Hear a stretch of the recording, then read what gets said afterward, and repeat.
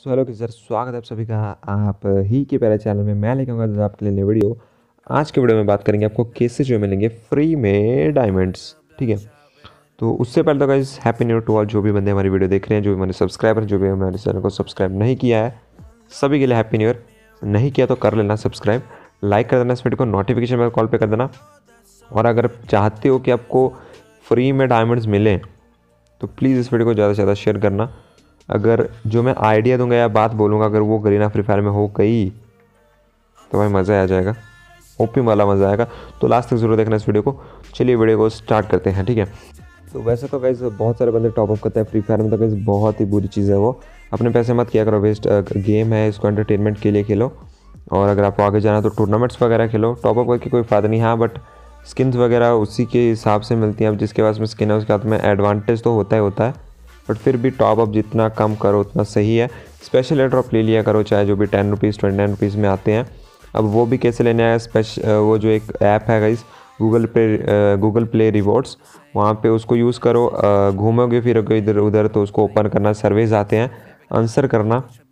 Answer करके पैसे मिल जाते हैं ना। तो उससे आप जो स्पेशल एयर ड्रॉप भी खरीद सकते हो।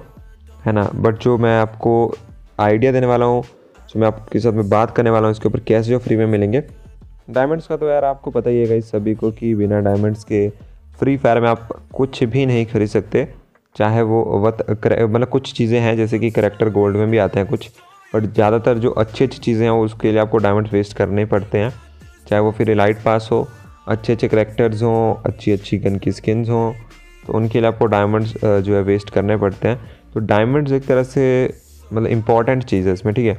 तो अभी अगर जो मैं आपको आइडिया बता रहा हूँ, अगर ये फ्री फायर में हो जाता तो सभी बंदों के लिए यार बहुत ही आसान हो जाएगा डायमंड्स लेना। तो आपको पता है गाइज़ हमारे पास में बहुत सारी पुरानी पुरानी चलो कुछ रेयर चीज़ होती है, कुछ रेयर चीज़ें नहीं होती, जैसे कि मैं वॉल्ट में जा रहा हूँ अभी, है ना? तो वॉल्ट में अगर आप देखो बहुत सारी चीज़ें हैं। अब मुझे कुछ चीज़ें अगर नहीं चाहिए, है ना? तो जैसे कि अभी ये तो सिर्फ़ कपड़े वगैरह हैं, है ना? अगर इनमें से कुछ बोरिंग चीज़ है तो मैं उनको नहीं रखना चाहता। और अदर्स में जाएँगे तो यहाँ पे आपको देखो ब्लू है तो अभी मेरे पास उस टाइम स्टोन नहीं थे, नहीं तो मैं एक्सचेंज कर देता। तो अभी एक तरह से कबाड़ी है सब चीज़ें। अगर हाँ अगर आ जाता है फिर से इनको बेटर तो यूज़फुल हो जाएगा। अदरवाइज़ बहुत सारी चीज़ें जो कबाड़ हैं, ठीक है? तो इनको अगर गरेना फ्री फायर ऐसा कर देते, या तो इनको एक्सचेंज कर दिया जाए और हमें कुछ अच्छी चीज़ दे दी जाए।